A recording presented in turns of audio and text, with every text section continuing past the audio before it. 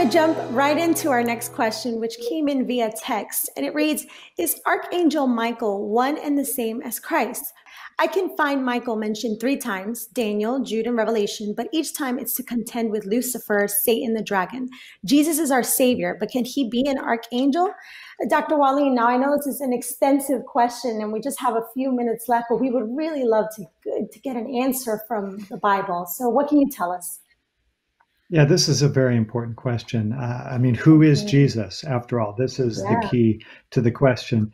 And uh, we have references to Michael several times and to the archangel several times in the Bible, but only in mm-hmm. Jude 9 are they both mentioned together, which uh, mm-hmm. shows us that they are one and the same person. If we just, mm-hmm. first of all, look at Jude 9, it says, Yet Michael the archangel, in contending with the devil when he disputed about the body of Moses, dared not bring against him a reviling accusation, but said, The Lord rebuke you. So Michael is called the archangel.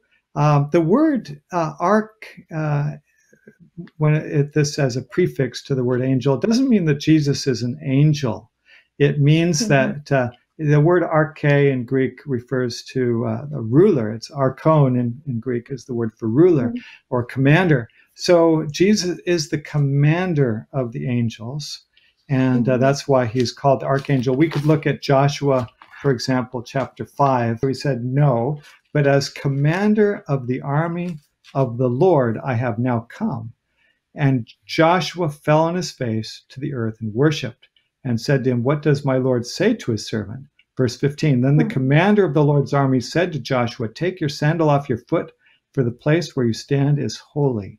And Joshua did so. Hmm. So the, you know, this is, uh, you know, the place is holy because it's it's God's presence. Even though He's mm-hmm. called the angel, uh, you know, archangel here, the commander of the Lord's army, which is uh, army of angels.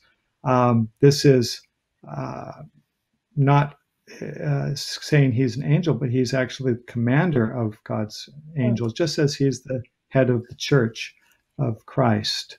Um, and then also we could we could mention that um, in First Thessalonians chapter four. For the Lord himself will descend from heaven with a shout, with the voice of the archangel, and with the trumpet of God, and the dead in Christ will rise first.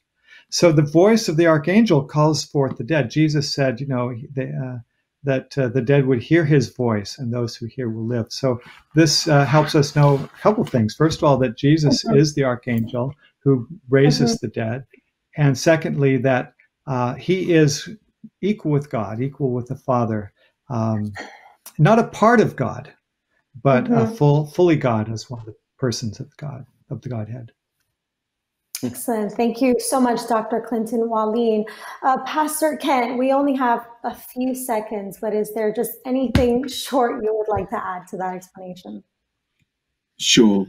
Um, Michael is just one of the many names that's yes. given to Jesus, the, the, second person of the, the Godhead. And mm-hmm. he's called uh, many different names. It, it yeah. shouldn't imply, though, that Jesus is a created being. Jesus is yeah. the creator. And mm-hmm. he's not just an angel. In the same way, mm-hmm. the United States president is the commander in chief of all the US military, but you'd never mm-hmm. call him a soldier. In the same way, yeah. Jesus is, is not just an angel. If we turn to Daniel chapter 12 and verse 1, it says, At that time shall arise Michael, the great prince who is charge of your people, and there shall be a time of trouble such as never has there been since uh, there was a nation till that time. But at that time your people shall be delivered, everyone whose name shall be found written in the book. The most important thing about Michael is Michael is the savior of his people. And that's what Jesus does. Jesus is the savior.